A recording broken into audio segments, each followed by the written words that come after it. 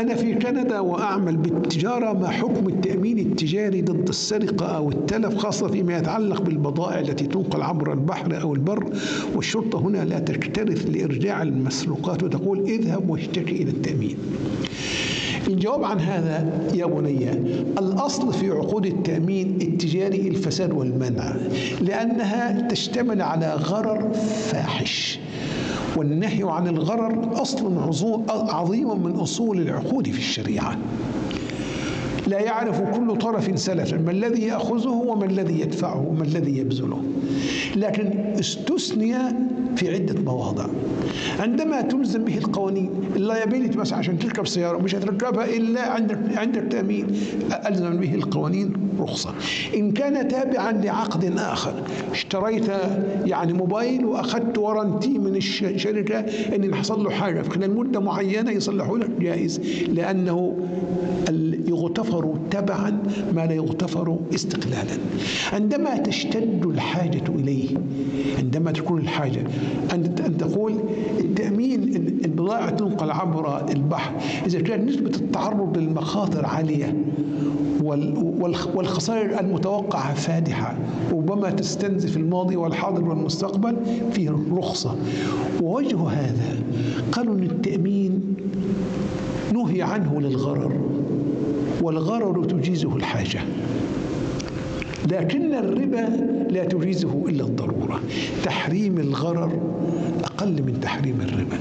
هذا جاءت الشريعة بإباحة بعض صور الغرر اليسير الذي تدعو إليه الحاجة. أضرب لك مثال. مطاعم أوبن بوفيه.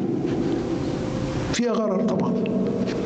واحد رياضي ما شاء الله يخش يشيل نص الايه نص الموجود على على المائده واحد دايت أو دابج أو كذا بياخذ يعني عينة والاثنين بيدفعوا بيدفعوا سعر واحد موحد يعني. أقصد هذا مما يعفى عنه وله نظير في تاريخنا السقائين. الناس لو بيشربوا من ماء زمزم زمان في سقايين بيزوا الناس. تدي له درهم مثلا وتشرب. واحد بيشرب واحد يشرب له سطل كامل واحد يشرب له كوباية صغيرة والثمن واحد. هذا غرر يسير تدعو الحاجة اليه فتغافرت فيه الشريعة.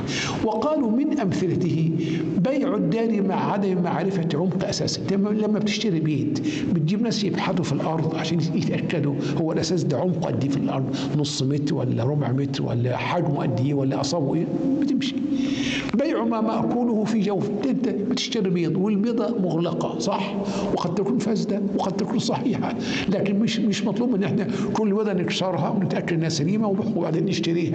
هذا لا لا تقوم مصالح الناس بهذا. فالغرر اليسير يرخص فيه. فمن أجل هذا قالوا إن تحريم الغرر أقل من تحريم الربا أدنى منه. فرخص في الغرر للحاجة ولم يرخص في الربا إلا عند الضرورات. ولهذا الاقتراض بالربا يترخص فيه عند الضرورة وكل مسلم مسؤول أمام الله عن تقدير ضرورته ويستعين بالمفتي المحل المخالط له في تقدير ضرورته. أما الإقراض بالربا لا ترخصه لا ضرورة ولا حاجة. بارك الله فيكم.